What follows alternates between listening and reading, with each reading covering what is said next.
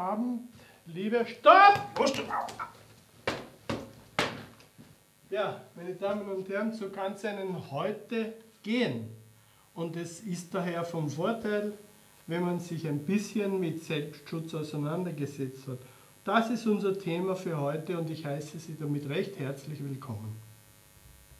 Noch einmal ein herzliches guten Abend und ich möchte jetzt auch meine Partner an dieser Sendung vorstellen. Neben mir ist der Mick, der Ausbildner ist und sich mit Selbstschutz sehr gut auskennt.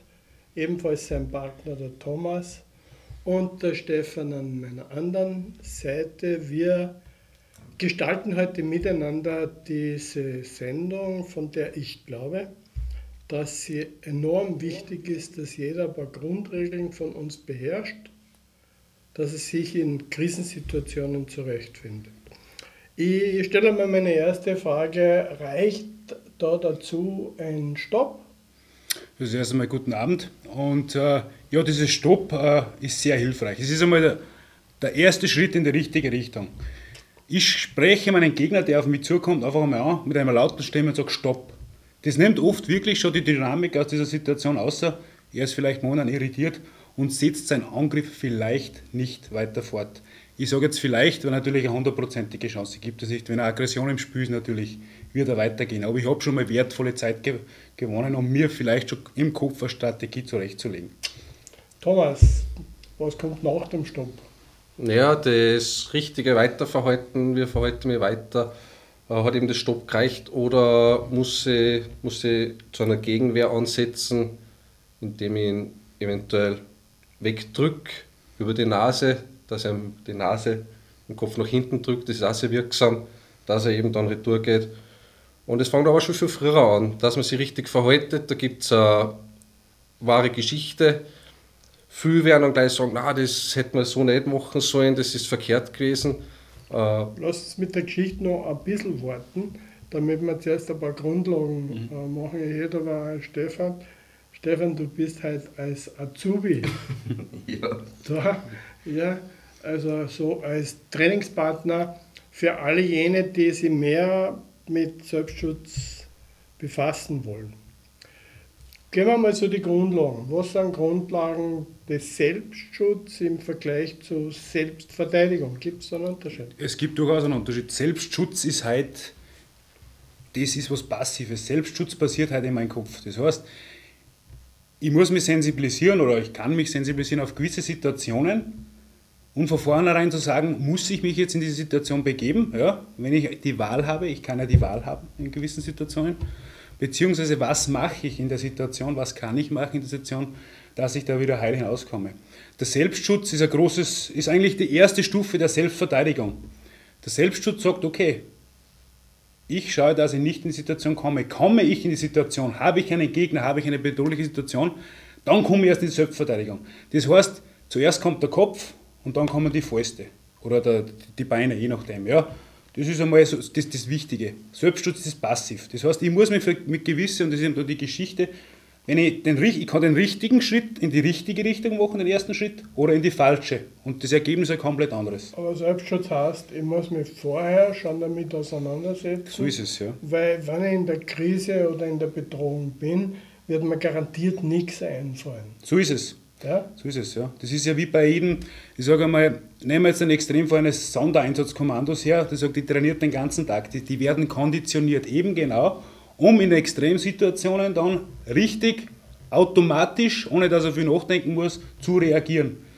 Wir sind kein Sondereinsatzkommando, wir sind ganz normale Menschen, aber trotzdem, man kann nicht jede Situation irgendwie nachspielen, aber man kann Standardsituationen finden, wo man sagt, okay, die habe ich schon mal gesehen und somit bleiben sie mir im Gedächtnis. Wir sind doch ein Sondereinsatzkommando oh, okay. heute von Open Studio in FS1, weil ich mir sicher bin, dass sehr viele unserer Zuhörer, Zuseherinnen und Zuseher sich wahrscheinlich noch nicht wirklich auseinandergesetzt haben mit dem Thema oder schon daran gedacht haben, es war nicht schlecht.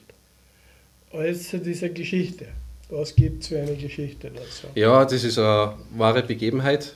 Also nichts, was aus der Luft gegriffen ist oder was man sich ausgedacht hat. Äh, ich sage jetzt mal eine Bekannte, die war in Wien, hat sich gedacht, sie geht noch fort, geht noch, geht noch in die Innenstadt, was trinken. Ist dann doch später geworden und hat sich gedacht, na mit der U-Bahn, das Bauchgefühl sagt, na taugt mir nicht so, wenn ich da jetzt einsteige in die U-Bahn, ich fahre mit der Straßenbahn. Ist, ist, ist, hat gewartet auf die Straßenbahn, ist nur eine Straßenbahn gewesen, wo zwei Waggons gewesen sind, einmal der, der, der Schaffnerteil und einmal der hintere Teil, ist in den hinteren Teil eingestiegen, hat da schon ein paar Männer gesehen, die was nicht ganz koscher vorgekommen sind und hat sich gedacht, sag ich sie, sie nicht, sehen sie mich auch nicht. Hat ihr Handy rausgefasst, hat damals ein neues iPhone 6, mhm. hat sie gespielt, hat geschaut und hat aber nicht mitgekriegt, was rundum abläuft. Eine Station ist gut gegangen, zwei Stationen ist gut gegangen, bei der dritten hätte es vielleicht aussteigen sollen, bei der vierten, die Herren waren weg, ebenso ihre Brieftaschen und das Handy und die Handtaschen. War natürlich dann komplett aufgelöst und dann ist es angegangen, was hätte ich besser machen können, wo ja. hätte ich mich schon mal schützen können. Schauen wir mal umgekehrt, wie ist denn das überhaupt passiert? Ich habe das, das heißt, bei, vor einer, vor einer äh, Haltestöße beraubt worden oder oder zwischendrin, zwischendrin, zwischendrin. Hat sie nicht zur Wehr setzen können oder wollen? Hat Nein, Entschuldigung, weil es einfach so schnell gegangen ist. Dadurch, so. dass sie ins Handy geschaut hat, hat sie eben hat rundum nichts mitgekriegt, ah, was abgelaufen genau. ist und die haben eben flinke ja. Füße gehabt genau. und sind bis heute noch nicht gefasst worden. Okay. Das ist eine absolute Profi-Aktion gewesen. Wie gesagt, von einer, von ihr natürlich nicht. Das heißt, sie haben genau da zugeschlagen, wo es am idealsten war, zwischen zwei Stationen. Sie hat die, wie wir gerne sagen, die Vogelstrauß-Taktik angewandt. Wir wissen, Kopf in den Sand stecken, wie er richtig gesagt hat. Sehen Sie mich nicht, ja, sehe ich Sie nicht, sehen Sie mich nicht. Und heute ist natürlich das Handy ein super Instrument für sowas. Ja. Und das ist aber falsch. Das heißt, wir nennen es Gefahrenradar. Hm. Das heißt, wir haben unsere Sinne ausgeschalten. Wir haben nicht gesehen, wir haben nicht gehört. Und das ist das Wichtigste. Wenn ich schon das Bauchgefühl habe, ah, taugt mir nicht, dann soll ich auf das hören. Und umso wichtiger ist, dass ich meine Sinne benutze und nicht die Sinnebände auf ein Handy. Ein Handy ist eine super Geschichte. Kommen wir dann auch noch drauf hin, aber nicht in solchen Situationen. Aber was hätte sie denn anders machen können? Das ist die Frage an euch, was hätte sie anders machen Wollen wir das jetzt analysieren? Wir sollen das Ihr sollt das jetzt herausfinden. Ja? Wir, wir werden euch leiten. Ja. Ah, so, super. Also wir fangen an von der Situation, sie entscheidet gegen die U-Bahn. Was ja schon richtig ist, taugt ihr nicht. Ja, sie will nicht U-Bahn fahren. Erstes mhm. richtiges Bauchgefühl. Ja, die Zeit war fortgeschritten. Dann haben wir diese Straßenbahn mit zwei Waggonen, die naja. voneinander getrennt sind. Okay, vorne hat er schon gesagt, sitzt der Fahrer, sie sitzt ganz hinten. Also, wo ist der, wo ist der, wo der, wo der falsch, erste falsche ja. Schritt schon mal? Ich war vorne eingestiegen, wenn ich mir unsicher war, nicht? Genau. Weil dann ist der Schaffner, der kann stehen bleiben, ich kann schreien, es hört genau. nicht mehr. Genau. Der hat einen Notrufknopf oder wie immer. Also der Schaffner, heutzutage sind die Busse und Straßenbahnen so ausgelegt, dass die einen Notrufknopf haben. Das geht sofort okay. an die Polizei und, oder an die genau. Leitstelle und das wird dann an die Polizei weitergeleitet, weil die wissen natürlich, wo der gerade ja. unterwegs ist. Also erste Regel, schauen, dass ich nicht allein bin. In Sicherheit, ja. In generell, Sicherheit. Ja. generell, also nicht jetzt in der Krise, sondern ich schaue, wenn ich mit dem Obus genau. fahre, war bei uns, dass ich dort jemanden so habe. Dass ich die Nähe suche. Und ich habe im, U im, okay. im, im U-Bus oder in der Straßenbahn habe ich es leicht. Nicht? Da ist der Fahrer, da, da sitze ich mit zu dem. Da kommt er noch hinzu wo sind wir räumlich getrennt? Die drei Herren sind im zweiten Waggon. Also ja. die sind ja eigentlich schon mal weg. Gell? Das, das, das, das hätten wir mit diesem einen Schritt, wo wir sagen, in die richtige Richtung, hätten wir vieles abhalten können. Was natürlich nur falsch gelaufen ist, er hat es eh schon so eigentlich schon provozierend gesagt, das iPhone 6, ja, ich würde da keine Werbung machen, es kann ja, ja, ja, Aber gerade dieses Telefon, ja, sagen wir Ein also modernes, neues, modernes, neues Telefon. Reizvolles Telefon, ja. Ja, wenn ich das raushole, was mache ich? Werbung. ja, ich mache nicht nur Werbung, sondern ich zeige Ihnen, ja. was ich alles habe. Ne? Genau, passt, das verstehe ich. Ja. Ja. Daher habe ich eh kein iPhone. Ja, es ist ja wurscht. Muss ich, kann, jedes moderne Handy. Ja, ne? ja, das ist völlig wurscht. Jedes andere ja. war nur ein Scherz. Ja. Gut, das heißt, sie verkriecht sich hinter den Hände. In äh, vermeintlicher Sicherheit, wie sie ja, glaubt. Ja. Genau. Ja. Und das ist eben grundlegend falsch. Wie gesagt, sie hätte alles, vieles weghalten können, indem sie einfach sagt, ich steige in den ersten Waggon, sitze mich zum Fahrer. Wäre das jetzt anders, sie wäre trotzdem in den hinteren Waggon eingestiegen. Ja, haben wir eh schon gesagt, was hätte ich nicht gemacht. Ja? Ich hätte das Handy nicht hergezeigt. Ja? Genau. ich hätte nicht auf den Ja. Boden geschaut. Dann Oder, habe ich die Augen und die Ohren woanders, oder? genau, Und wenn man dann unwohl ist, dann kann ich einfach bei der nächsten Station aussteigen, oder? genau das ist es, genau das ist es. Aber das ist ja auch Provokation, wenn ich mir die Leute anschaue. oder? Nein, das ist, Schön. Es kommt immer darauf an, wie ich es anschaue. Ich kann hinschauen wie ein Gaffer, dass ich sage, wer bist du mit, mit meinem Gesichtsausdruck oder ich schaue ihn an und sage, ich habe dich registriert, mehr oder weniger durch meinen Blick und setze mich dann normal hin und halten immer aus dem, aus dem Augenwinkel in Beobachtung und Oder schau, was er tut. Ein Foto mit den Händen. würde ich in der Situation glaube ich nicht machen. Also das ist dann wirklich provozierend. Nicht? Also das lädt ja fast neu zu schauen. Aber ja klar, Ja, es, ja, hat, es, hat, es hat den Fall schon gegeben, wo ein Foto gemacht wurde und dann die Täter anhand dessen gefasst wurden, weil diese zwei Damen so fix waren mit dem Handy. Weil heute muss man ja einen einwandfrei identifizieren und mit so einem Foto geht es natürlich super. Ne? wenn nicht das Handy mit dem Foto dann weg ist. Ja. Gut, und jetzt, wie kommt das sozusagen zum Ernstfall? Also jetzt will ich mal sagen, ich fasse zusammen, hinschauen, wacher Blick, ja, nicht unbedingt provozierend herzeigen, was ich habe. Aufpassen aufs Bauchgefühl, eventuell früher aussteigen. Ja, und vor allem die Grundregel, nicht allein in einem Waggon drinnen So sein. Ja. Okay, wir wollen ja auch was für die Praxis tun. ja, natürlich. Zu dem sind wir ja da. Genau, wir üben jetzt ein paar Dinge. Die Übungen sind so angelegt, dass Sie, liebe Zuseherinnen und Zuschauer, auch nachüben können. Ja, diese Sendung kommt erstens ins YouTube, sie kommt äh, dann im Laufe nächst, des nächsten Monats längere Zeit im FS1, im, mittendrin meiner Sendung. Und Sie können auch sich die mehrmals anschauen, um Griffe oder Techniken weiter zu üben. Deswegen machen wir das. Und jetzt fangen wir mal mit ein paar Grundlagen an. Genau. Da haben wir mal das weg, Bühne frei. Gut. Mick, wo fangen wir an? Wir fangen an, also wir sind jetzt außerhalb vom Selbstschutz, wir sind in einer Selbstverteidigungssituation. Das Wichtigste ist einmal, äh, ich sage es auch immer ungern, weil es ja äh, so einen Shitstorm ausgelöst hat, diese eine Armlänge Abstand. Gell? Aber diese ein, eine Armlänge Abstand hat durchaus ihre Berechtigung. Weil diese eine Armlänge Abstand ist mein Komfortabstand. Das heißt, wenn ich jetzt zum Stefan und gebe ihm die Hand, wird er sich wohlfühlen. Wir haben den richtigen Abstand davon. Gell? In der Selbstverteidigung, auch im Kampfsport, ist es anderermaßen der Abstand, die Schlagdistanz passt, die Griffdistanz passt. Wie kriege ich jetzt den Abstand, dass ich stabil bin? Da haben wir die Schutzstellung. Und wir haben es zuerst schon geübt, Stefan, die Schutzstellung. Die Schutzstellung, wir gehen jetzt von Rechtshänder aus, ich bin Rechtshänder, du bist Rechtshänder, die Schutzstellung schaut so aus.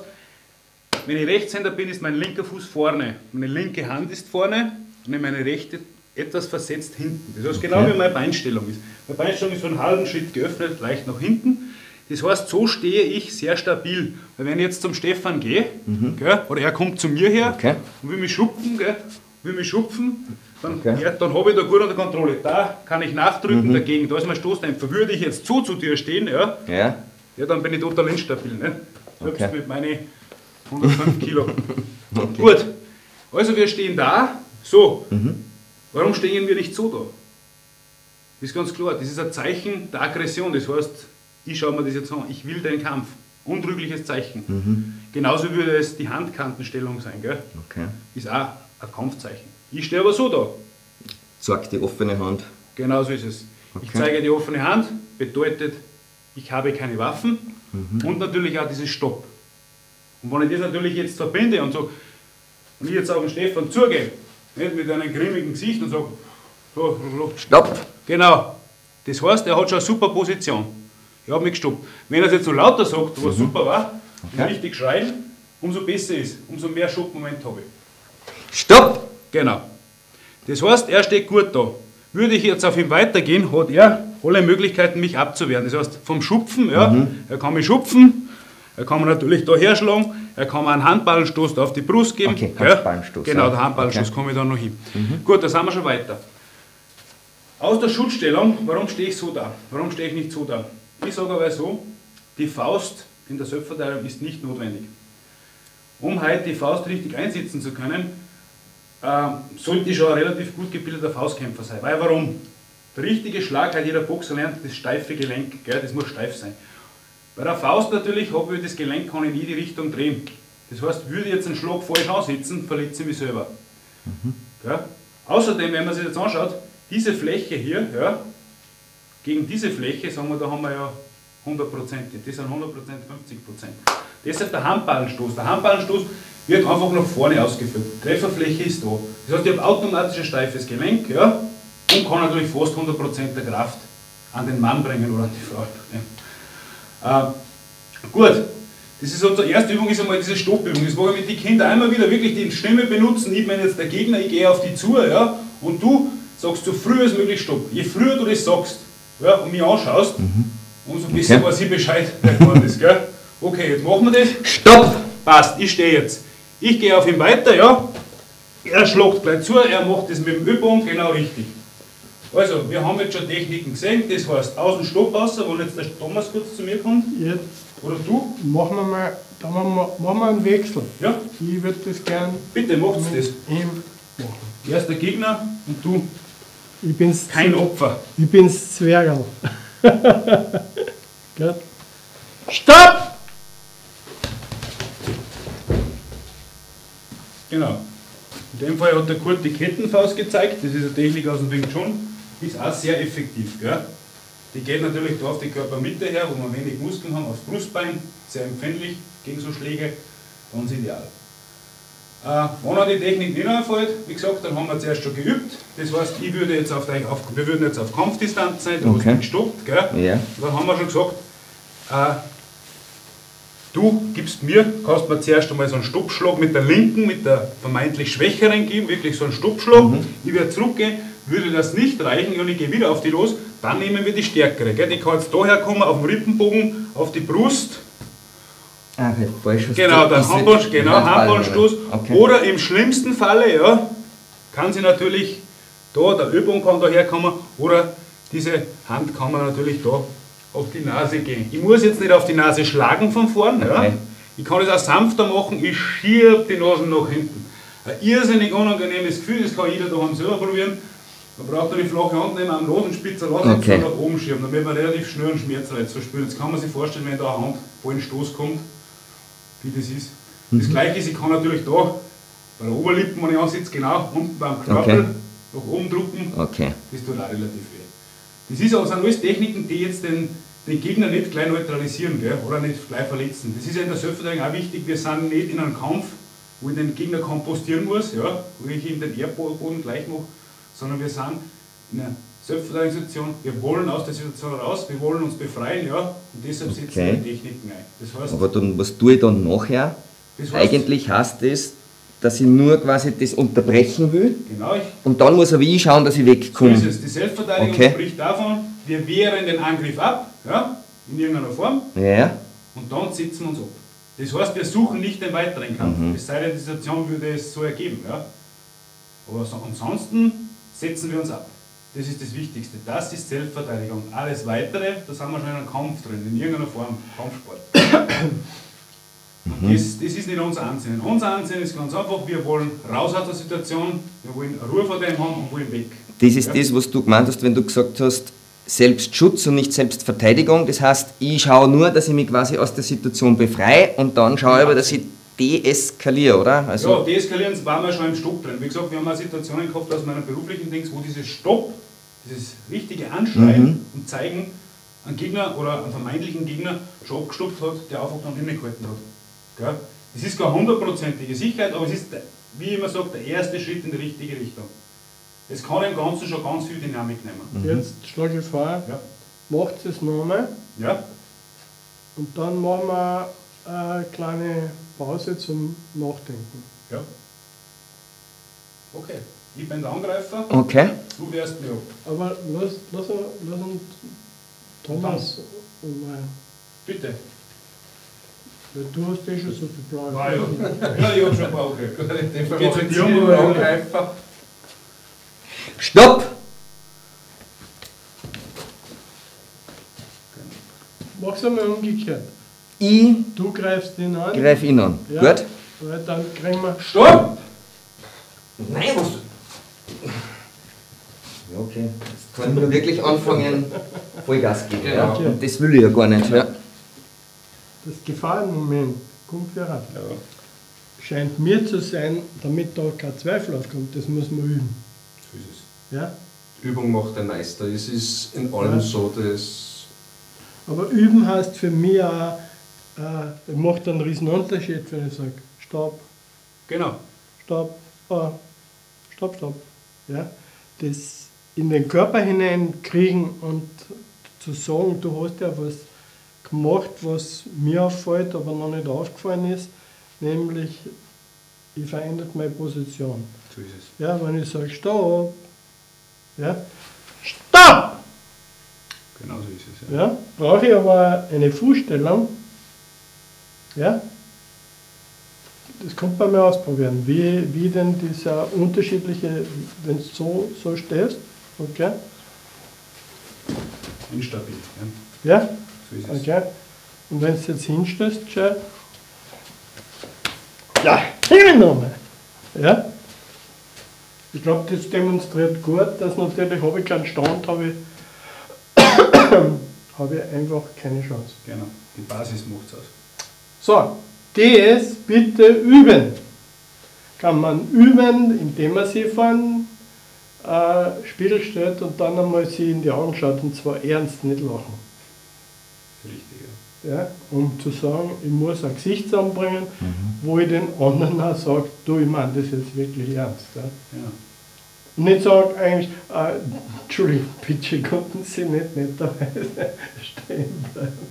Das, Wo, wo man es schon hört, dass sie, das, ich möchte das kurz ansprechen, ich sage es in meinem Beruf, das Du, das wird so weit verbreitet inzwischen, weil jeder geht her und sagt, die kennen doch nicht einmal, grüß dich, du.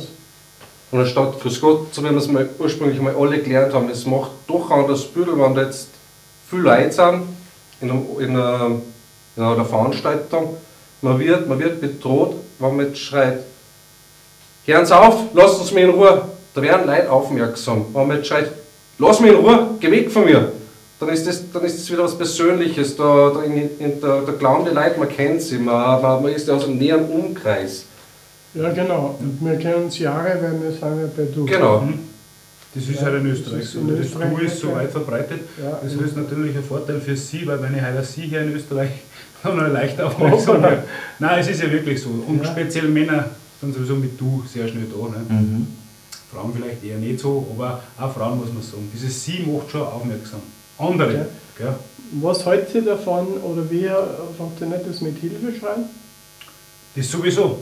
Wenn ich in einer Situation bin, dass die Situation schon so, ich meine, ich will nicht gleich Hilfe schreien, ja, aber wenn halt wirklich ich merke, ja, äh, jetzt geht es ans Eingemachte, ja, der greift schon her oder der, der dampft auf mich zu, ja, dann mag ich auf mich aufmerksam, mit allem Möglichen, mit Hilfe schreien. Natürlich, das Hilfeschreien hat immer seine Berechtigung, ja, auf mich aufmerksam machen, in jeglicher Form. Ja. Okay. Da Und- gibt's- ja. Entschuldigung. Und so, so, so laut wie möglich. Ja, jeder kennt das von daheim. Man sitzt im Garten und dann denkt, halt, kurz fix die Kinder vom Nachbarn, die sind heute wieder laut und jetzt geht doch einmal schauen, was da los ist. Das kennt ja jeder. Und wenn man am Mausern ist und man ist stark und man wird immer leiser, dann hört dann keiner, dann wird keiner aufmerksam und da Kinder keiner schauen, was da jetzt wirklich los ist, was passiert. Also wie gesagt, so laut wie möglich. Ja. Auch das, glaube ich, muss man üben. Das muss man üben, große Erwachsene. Als Erwachsener ist man es nicht mehr gewohnt. Ich habe beim Stefan gesehen, das Stopp das erste war sehr verhalten. Ja. Ja. Also als Erwachsener ein bisschen schon gehemmt zu schreien. Ja. Und ich habe das in unseren Kursen immer das wirklich bewusst mit Erwachsenen. Bei den Kindern haben wir meistens kein Problem, weil das einfach auslaufen. Aber bei Erwachsenen müssen wir es wirklich üben, dieses wirklich Stopp zu schreien, dass wirklich die Ohren ein bisschen klingeln. Ja. Und das ist wichtig. Ja. Weil man ist einfach zu gehemmt als Erwachsener, so, so, so komisch wie es klingt. Ja. Jetzt gibt es einen Unterschied zwischen Männern und Frauen?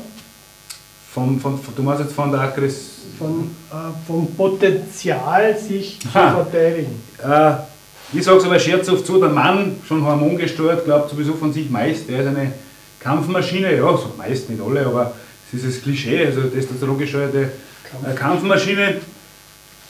Dahingegen hat die Frau den Vorteil, dass sie beides ist. Ja. Sie ist erstens eine Kampfmaschine, man darf eine Frau nicht unterschätzen im Kampf, ja, ganz und gar nicht. Und, was noch dazu kommt, eine Frau ist ein wandelndes Waffenarsenal, ja, wenn es voll ausgerüstet ist. Hören Sie zu, Also das, meine Damen, Sie sind ein wandelndes. Ich, ich habe übrigens auch, haben Sie meine Bewaff bei Bewaffnung zuerst gesehen? Oh, ich habe es nicht da. Diese Kappe, die ich aufhabe, ist tatsächlich eine Waffe. So ist es, ja. Ja? Ich habe das bei ihm, bei ihm gelernt ja, und ich muss sagen, seit der Zeit geht es mir wirklich tatsächlich besser. Das ist eine sehr. Äh, ich habe es jetzt auch wieder gespürt, wieder mal mittlerweile. Vielleicht haben sie es gemerkt, ich habe ihn geschont. Ja, Gott sei Dank, weil ich will heute heil aus der Sache rauskommen. Ja. Selbstschutz, ne? Ja. Nein, Kappe ist ja ganz. Wie gesagt, man denkt oft gar nicht an das, was man alles mit hat, was eine Waffe sein kann. Also ein, ein, ein Gegenstand zur Abwehr, ja, sagen wir Okay. so. Zeitung? Zeitung sehr bedingt, ja, ich würde sagen, eine nasse Salzburger Nachrichten ist natürlich nicht das, äh, das Richtige, Okay. auch wenn es zusammengerollt ist, weil es einfach instabil ist, aber ein Magazin, Magazin? Okay. ist natürlich Ja. super. Gell? Ja. Das rohe Zusammenfest, das ist Okay. erstens, kann ich es zum Zuschlagen hernehmen und auch zum Stoßen. Ja? Das macht relativ scharfe Enden. Gell? Handy?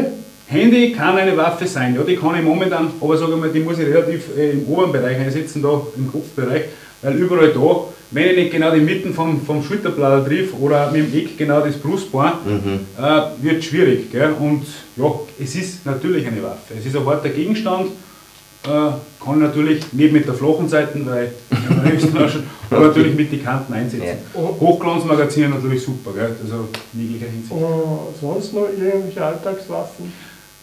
Gibt es viele. Also wie gesagt, fangen wir bei einem Kapperl an. Das Kapperl hat er kurz erst zum Zuschlagen, er hat es einfach runtergezogen und hat es mir draufgehauen. Würde ich das Kapperl in die Hand nehmen, haben wir vorne dieses Schild. Ja, das Schild kann man schön in die Hand nehmen, das macht eine schöne stabile Dings, die kann ich auch zum Zuschlagen hernehmen, ja, Okay. zum Abwehren. Ja.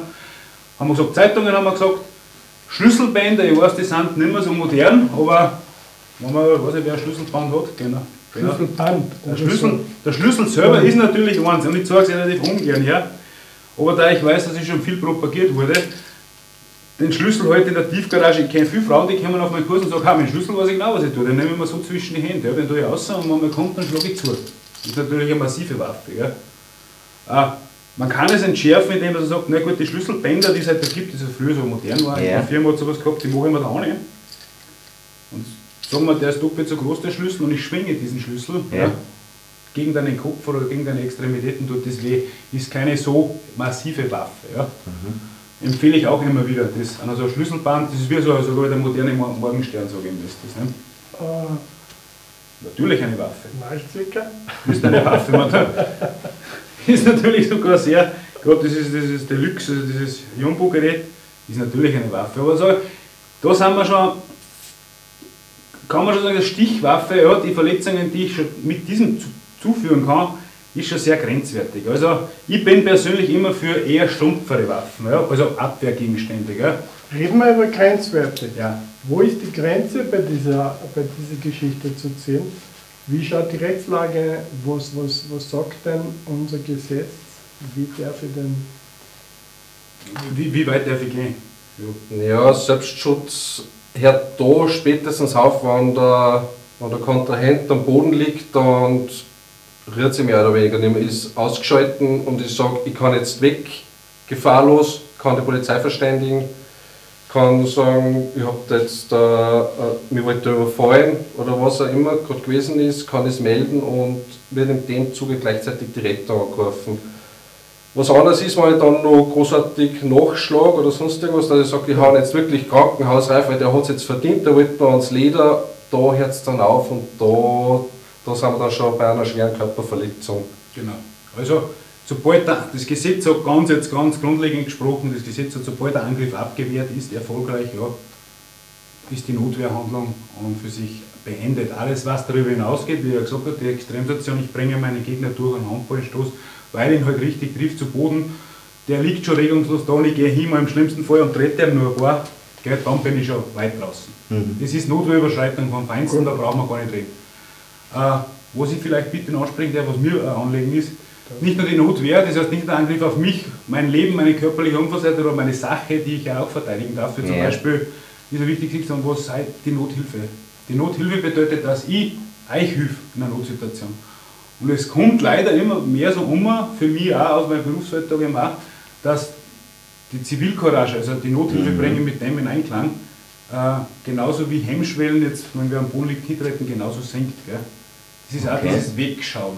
Ja, ich will nichts damit zum tun haben. Ich höre in die Kurse viel, höre mir viel, ah, ja, da, ich tue da lieber nichts, weil dann bin ich da mit drin und dann, dann fragt mich irgendwas und dann kriege ich zum Schluss auch noch eine Strafe. Hilfe fängt da schon viel früher an. Indem, wenn, ich, wenn ich mir selber nicht traue, weil ich einfach sage, traue nicht, das ist so, so ein Bär und der, der, der raubt mir umgespitzt den Boden. Ich gehe her und hole mir den zweiten und sage, komm, geh mit, da ist was, da, da passiert was. Oder jeder hat ein Handy eingesteckt, was zu 99% so weit geladen ist, dass ich die Polizei anrufen kann. Also Nummer Jetzt noch, 133. so, was ist jetzt meine 144? will? internationale. 144. Ist ein normales Das ist Gerät, so eine oder? Testfrage, ja. Ja.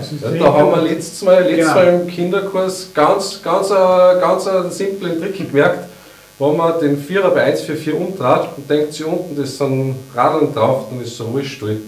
Ja, Dann so haben wir merken Sie, wie Kinder das ist. Okay. Ja. Ja. Oder heute wird der, wird der Zwarer nicht mehr mit der Schlaufen geschrieben, wie es wir alle gelernt haben, sondern Eckert. Ja. Aber da lernen schon die Kinder, wie wir es wie es wir früher gelernt haben, mit einer Schlaufen, das erinnert an den Feuerwehrschlauch, also 122 ist die Feuerwehr. Ja, wiederholen wir 133 Polizei, 144 die Rettung, 122, was haben wir, die Feuerwehr. Feuerwehr. Und dann gibt es noch die neue Nummer, oder? 112. Genau, da war noch, noch drauf. Ganz Ja. eine geschickte Sache. Ja. Ähm, und zwar deshalb, ich habe es selber schon mal gebraucht. Und zwar war auf dem Weg mit meiner Frau und mit den Kindern nach München, also schon auf deutschem Gebiet, auf Höhe von Hucpolding. Mhm. Das ist österreichischen Netz hat natürlich nicht mehr funktioniert. Dann habe ich dort Personen, mehrere Personen, in Fahrtrichtung mitten auf der Autobahn spazieren gesehen. Ja. So, jetzt weiß ich, muss ich ganz ehrlich sagen, obwohl ich aus dem Bundesdienst komme, ja, die Nummer von den Deutschen nicht, gell, fällt mir Mhm. nicht ein. Meine Frau hat allerdings gesagt 112. Wählt 112 und schwuppdiwupp war es bei der Polizeiinspektion in Rosenheim. Das war die nächstgelegene. Also der Euronotruf, mehr oder weniger bestimmt über das Handy den Standort, ja, Ja. verbindet dich zur nächstgelegenen Not Notrufzentrale. Das funktioniert in ganz Europa. Wie gesagt, und man sollte, halt- ja, wie gesagt, Deutschland ist natürlich kein Problem mit Deutsch, aber auch mit Englisch kommt man ganz gut durch. 112, super Sache. Nur meine Frage war, ich habe da den Trick, ge- also ich habe da eine Falle gelegt und gesagt, na, ihr würdet jetzt, ruft die Polizei an mit 114, nicht? Und dann haben ein paar, ja, ja, genau, passt. Und die anderen haben gesagt, nein, Moment, das ist die Rettung. Ja. Ja, was mache ich jetzt, wenn ich die Rettung dran habe? Vermitteln mit ihnen nicht weiter. Genau. Auf keinen Fall auflegen. Mal so mich verwöhnt. Das können genau die Sekunden sein, die mir dann abgehen. Ja. Oder wie im anderen abgehen. Das heißt, sage ich, Entschuldigung, ich brauche die Polizei, bitte stellen Sie mich durch. Mhm. Okay. Also es ist kein Schande, wenn man jetzt die falsche Nummer anwählt. Gut, jetzt geht schon ganz gut. Was Ja. will man denn als nächstes? Ja, ich würde sagen, ähm, was will man als nächstes? Ja, der Klassiker. Den haben wir zuerst schon geübt und zwar, Ja. Sage ich mal, der Wirtshausraufer Griff, nicht? Also der, der eigentlich ist ein, ein männlicher Griff, ja, das kommt meistens mit den Männern vor. Wie viel du sagen? Macht ihr zwar, ist gescheiter, als ich bin halt eh schon so geschlagen worden vom Kurt. Also ich greife die jetzt einmal an, oder? Genau. Dann ist mir richtig fest. Dann Stopp! Das haben wir schon. Das weiß ich schon, ihr wisst es schon. Aber jetzt, liebe Zuseherinnen und Zuseher, was würden Sie jetzt in dieser Situation machen? Danke, weiter. Gut, das Bekanntliche, wo jeder sagt, ja, ich hau ihn weg oder ich ihn raus, das funktioniert oft nicht. Am gescheitsten ist da, wir fixieren, zieht man so, dann ist er schon mal mehr oder weniger nicht mehr recht bewegungsfreudig und dann kann man entweder mit einem Handballenschlag wegdrucken oder eben auf die Nase, was sehr unangenehm ist. Oder wenn gar nichts hilft, dann gibt es noch den Ellbogenschlag, dann dreht den ganzen Oberkörper mit und so ist er dann spätestens komplett außer Gefecht gesetzt. Das hätte ich nicht tun sollen. Lösen wir mal die Situation nochmal auf. Für alle, warte mal, wir haben die Kamera dort. Okay. Äh, nimm bitte in Nome. Ja. Es ist rein technisch total easy. Nur die Hand drauf zu legen. Er geht jetzt mit dem Kopf schon zurück. Ja, Ist vielleicht schon unangenehm. ist schon Habe ich schon irgendwas falsch gemacht? Ja. Ja, genau. Und das sind so kleine Handgriffe. Ja. Darf ich das einmal probieren? Ja, selbstverständlich. Okay. Und ich komme schon nicht mehr aus und kann mich nicht mehr werden. Okay. Das ist, äh, äh, das ist noch kein, wie gesagt, dieser Griff, den ihr jetzt gemacht habt, das ist eine sogenannte Ja. Kontrolltechnik. Das heißt, ich drehe einen Spieß um, er will mich kontrollieren, nein, ich kontrolliere ihn. Gell? Mhm. Und dann Ja. kann ich natürlich alles machen. Ne? Und da allein durch die Aktion nehmen wir schon so viel Wind aus den Segeln, da, da schaltet dann der Schalter um, oh, oh, ich glaube, jetzt bin ich doch an den Falschen geraten, der weiß da was, was ich nicht weiß. Defensivmodus, offensiv, defensiv, ja. Äh, wie er gesagt hat, man kann natürlich sanftere Techniken einsetzen. Ich habe das, haben es zuerst gemacht. Zum Beispiel, viel, viele in unserem Alter jetzt kennen noch Bud Spencer. Nicht? Das ist so eine Ikone. Was war der Schlag nicht? Der Bud Spencer Schlag auf die Ohren. Sagt, nein, das ist ein Filmschlag. Das ist nicht richtig. Ja? Der Schlag Okay. auf die Ohren, ob es jetzt auf einer Seite ist oder auf zwei Seiten ist, gibt es in der Selbstverteidigung. Weil was haben wir da im Ohr? Wir haben das Gleichgewichtsorgan und das reagiert meist recht empfindlich auf Druckveränderungen. Gell? Wie schaut das aus? Also- ich greife die wieder an Genau. und du machst. Zack, ich gehe runter und hau aufs Ohr. Gell? Okay. Ich brauche das nicht festmachen, ich brauche das nicht mit Gewalt machen. Ja. Sondern einfach nur einen leichten Druck und er wird schon instabil momentan. Und ich kann mich lösen von ihm. Ja? Weil wenn, er- wenn er mich jetzt hat, ja, ich habe ihn jetzt eh schon unter Kontrolle, ihn da drauf, wird er wahrscheinlich drauf und ich drücke ihn einfach weg. Gell? Und er Mhm. kann nichts tun, ich habe immer die Deckung nur da mit der Hand. Egal was er macht.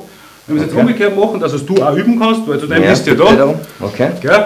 Machst jetzt, machen wir das, diesen Dings, ich nehme dich, ja, wirk dich fest, du schlagst drüber, patsch, Mhm. Okay, und ich habe die Hand schon genau. frei. Jawohl. Alles klar. Ja. Und ich kann mit meinen Händen nichts mehr tun. Unmöglich. Also, ich bin ja groß geworden mit Bud Spencer Ja. und deren Ziel. Meine Kampferfahrung habe ich von Bud Spencer. Ja, das war die früheste Erfahrung, Ich ja. muss sagen, mein Lieblingsschlag war sein Hammerschlag. Boom. Die Hammerfaust, ja. Ja, Ja. sagt. Oder der Terence Hill, er die Leute. Tanzen hat lassen, sozusagen. Ja, genau. Okay. Ja. Nein, aber das ist ganz easy. Das ist eine Kontrolltechnik, gefolgt von einer Technik aufs Ohr, wie gesagt. Ja. Ich kann mich schnell lösen vom Gegner. Gell? Wie gesagt, es geht ins Extreme, wenn mir der schon das Bein anfängt, oder wenn das wirklich schon so erkannt ist, dass ich sage, ich muss, da, ich muss einem einen, einen Schmerz jetzt mit einem Handballstoß sitzen, damit er mir abdreht, was passiert. Ne? Wie ist, ist denn äh, der Erfahrung mit Groß und Klein? Es ist, das, das Klischee trifft zu. Also es ist nicht so, dass ich mir jetzt mehr vor die Großen fürchte, sondern eher vor die Kleinen. Also die kleiner sind wie ich. Okay.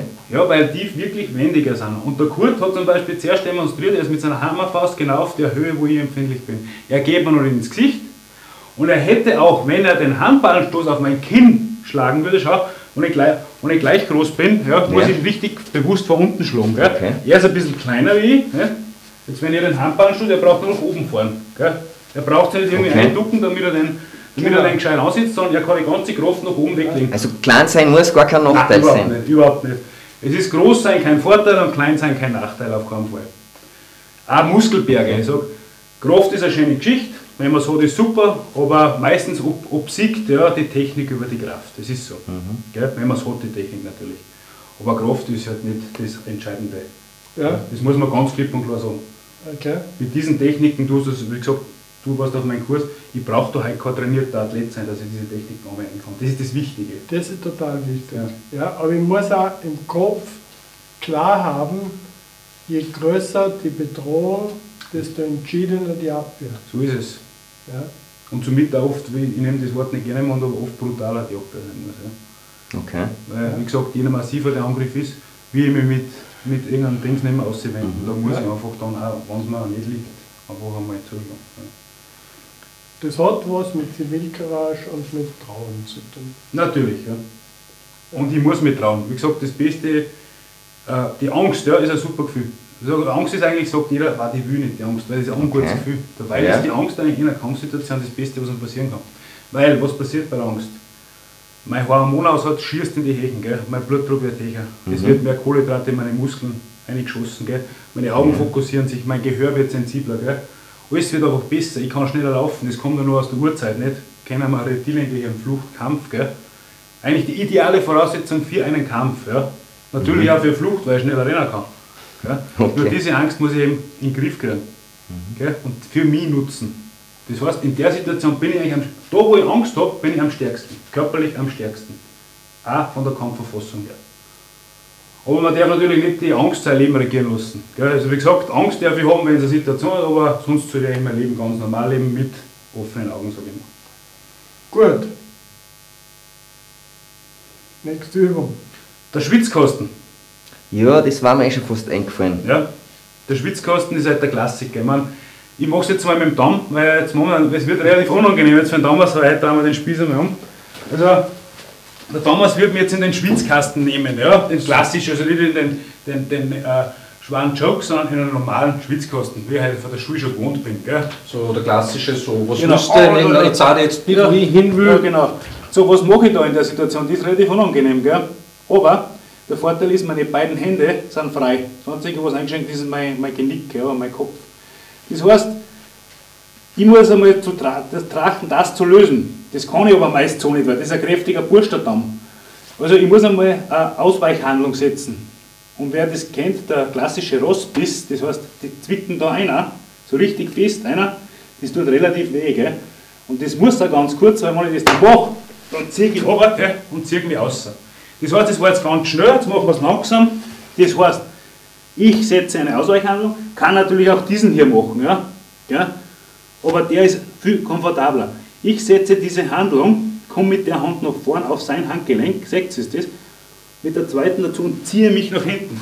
Ich lasse aber diese Hand nie aus, gell? die führe nach hinten. Und erst wenn ich dann weg bin, dann kann ich ihn auslassen. Okay. Gell? Also, die Übung geht immer nach hinten. Sie geht nicht nach auf die Seiten, sie geht nach hinten. Und ich kontrolliere wieder. Allerdings mhm. ist er ein Vorteil, weil er einen Hebel hat bei mir, um meinen sehr sensiblen Halsbereich. Den muss ich erst sprechen. Und wenn er das wirklich so hat, dann kann ich da anziehen, was ich will. Das heißt, ich muss einmal einen Schmerzreiz setzen, dass er mal kurz abgelenkt ist, komme mit der Hand nach vorne, mache den Haken, sage ich immer. Okay. Ziehe nach hinten weg mit beiden Händen. Ich brauche ihn nach unten reißen, sondern ich gehe einfach nach hinten. So, somit geht er in den Hebel. Kennt ihr das von früher noch? Ja, dass man, Eingriff, ne? dass man hinten. Aber wenn ich kurz unterbrechen ja. darf, wir können jetzt einmal zu wie vorzeigen genau. und du erklärst dann genau die Schritte, was er zum Tor hat. In den ja, das ist. Genau. Okay, gut. Also, wir machen also ich bin jetzt der große böse Bube, der hat den Schwitzkasten. Ja, das kenne ich leider eh. Früher. Genau, mit dieser Hand wirst du jetzt den Schmerzreiz sitzen. In, da kommst du genau, schon frei. Entschuldigung, okay. da darfst du da ruhig da aufgreifen. Oben, genau. Okay. Die zwickten, und die geht schon aufs Handgelenk gell, und die hilft dir dann. Okay, das geht eigentlich mit in Ohren, gell? Genau. Genau, weil so wie du zusammenzwickst. Ich ein bisschen weiter in die Mitte gehen, dass wir ja sehen. Natürlich. Dankeschön. Okay. So wie du da zusammenzwickst, lass ich schon mal locker, weil mir tut ja das weh. Mhm. Fürchterlich weh, ja. Die normale okay. Reaktion ist das, ich greife da hin, was mir weh tut. Und, und damit ist aber das gelöst, genau. oder? Gut, dann. Tun wir nochmal. Das heißt, Schmerzreiz sitzen, genau. die Hand benutzen, nach hinten weg. Okay, gut. Gell? Ist so kein Ja, ja da ist man schon etwas empfindlich. Ja. Genau. Mhm. Also man kennt es aus der ersten Hilfe, da gibt es ja diesen, diesen Hauptschlagerabdruck da okay. reindrücken, das tut er das, das kann jeder bei sich selber mal probieren, nicht leicht. Mhm. Der Männenschenk, das ist ein ganz sensibler Bereich. Ja. Das tut schon so, so schon Okay. Gell? Also quasi setze ich einen Schmerzimpuls genau. und damit habe ich dann wieder eine Handlung mehr frei. Wir wollen nicht verschweigen, dass wenn diese Geschichte natürlich, wir haben es im Moment da mit, mit Missbrauch zu tun und solche Sachen, ernst wird, dann gibt es nur einen Griff und der heißt in die Hoden. Genau. Zusammenquetschen und laufen. So ist es. Das ist eigentlich eine von den Grundregeln in der Selbstverteidigung. Ja. Wie ich zuerst schon gesagt habe, ich habe abgewehrt, ich bin frei, weg. Wir brauchen uns nichts beweisen, wir haben den Kampf, haben wir gewonnen. Ja? Wenn das wir aus dieser Situation rausgekommen sind. Weil es bringt mir nichts, ich dann den, den Gegner festhalte, weil wenn ich mir dann die dritte Hand hätte, was mir dann die Polizei anruft genau. und ich kann dann zum Schluss 10 Minuten halten und der überlegt sich, was er als nächstes tut. Genau. Hat keinen Sinn. Also befreien und so schnell wie möglich weg. Genau. Genau. So ist es. Das ist eigentlich die Grundessenz. Spannend. Mhm. Es ist eine spannende Geschichte und es gäbe noch viel zu sagen, aber. Sagen ja. wir, wir haben noch. Ja. Nicht einmal eine Minute. nein, nein, wir genau. haben noch 15 Minuten. Okay. Oder? Haben wir eine Minute? Also es ist jetzt kurz vor neun. Wir haben nur mehr eine Minute. Ja, eine Minute Jetzt ist die Zeit davon gelaufen, meine Damen und Herren. Und ich habe mich so gefreut, was noch 15 Minuten. es tut mir leid. Wir schauen mal, ob wir da vielleicht weitermachen. Wir haben noch eine Minute, dann lassen Sie uns zusammenfassen. Kommt es ein bisschen vierer. Ich sage mal wirklich Danke. Danke für ja, Ihr Know-how. Ja. ja. Und vor allem auch, dass wir das jetzt so lebendig miteinander äh, gestaltet haben. Mhm. Und meine Damen und Herren, schauen Sie bitte noch einmal rein in die Sendung. Schauen Sie sich die Griffe an, wir haben so gemacht, dass sie nachvollziehbar sind. Machen Sie ein paar Übungen vor, äh, vor dem Spiegel in dem Stopp sagen. Und mit diesem Stopp wünsche ich Ihnen heute eine gute Nacht und freue mich auf ein Wiedersehen in nächster Zeit. Danke und gute Nacht.